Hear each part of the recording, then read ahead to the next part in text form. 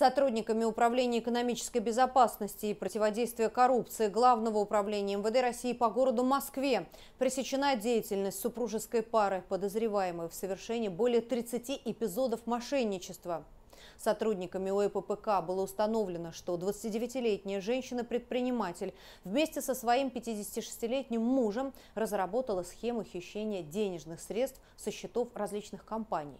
Они предоставляли в арбитражные суды подложные документы и в порядке упрощенного производства взыскивали с компании задолженность за оплату услуг по подбору кадров, которых на самом деле не оказывали.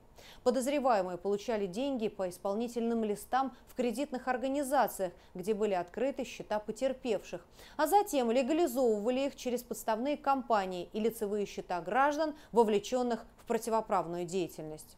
По данному факту следственной частью Главного следственного управления Главного управления МВД России по городу Москве возбуждено уголовное дело по признакам преступления, предусмотренного частью 3 статьи 159 Уголовного кодекса Российской Федерации. Скрываясь от правоохранительных органов, мужчина перенес операцию по изменению своей внешности.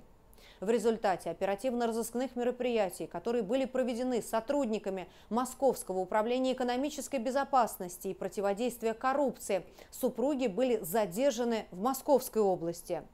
Сотрудниками Московского управления экономической безопасности и противодействия коррупции были проведены 10 обысков в Москве, Подмосковье, городе Сарове Нижегородской области по местам проживания фигурантов и лиц, возможно, причастных к совершению данного преступления. Изъяты поддельные документы, подготовленные для предоставления в суды, печати различных организаций, почтовые штампы, а также мобильные телефоны и множество сим-карт и персональные компьютеры.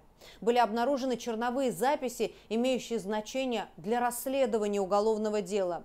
По предварительным данным, ущерб превысил 20 миллионов рублей. Судом в отношении мужчины избрана мера пресечения в виде заключения под стражу. Женщина находится под домашним арестом.